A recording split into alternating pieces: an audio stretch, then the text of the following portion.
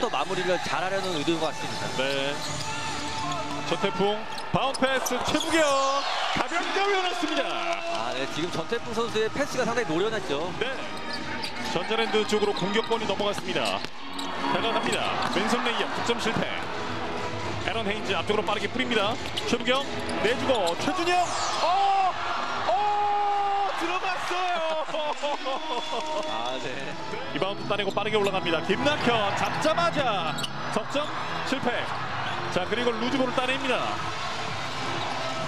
김선형 레이업 득점. 아, 정말 여유가 있습니다. 김선형이 맡고 있습니다. 석점 들어가지 않습니다. 리바운드 최부경 선수가 따냅니다.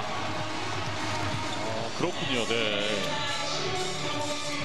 서울 SK의 공격 기회입니다. 애런 헤인즈가 건네주고 최부경 바운드 패스 다시 최부경 외곽 김민수 오픈 석점 깨끗합니다. 김민수의 석점 네, SK 같은 경우는 지금 네. 30대 25. 자, 공을 놓쳤어요. 서울 SK 속공 기회. 왼손 레이업 들어갑니다.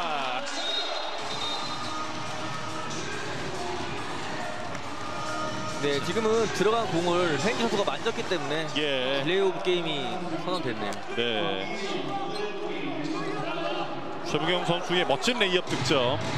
자, 네. 그리고 그 이후에 예. 김주현 선수가 저런 슈팅을 종종 보여주거든요. 네, 상당히 기술이 많이 들어간 슛입니다. 예. 김민수 골밑 투입 그리고 double clutch 애런 헤인즈 아, 헤인즈 선수도 본인의 블락 점점 줄어듭니다 김낙현 fadeaway. 득점 실패. 자 그리고 공격권은 SK가 가져갑니다. 김선형 double clutch. 안 들어갔고 tip in tip in 림 앞쪽 떨어집니다. 아, 지금은 최부경 선수가 굉장히 좋은 trailer man 역할을 해줬기 때문에. 다시 공격 리바운드를 따냅니다. 그리고 최부경 벤치업 득점. 아, 네, 지금 전자랜드 선수들은 SK 선수들을 매치업을 찾지 못하고 있습니다. 네, 할로웨이 우중간 첫번 석점. 들어가지 않았습니다. 반칙도 선언되지 않았어요. 김선영 속공 득점으로 마무리. 결정적인 순간에 김선영이 있네요.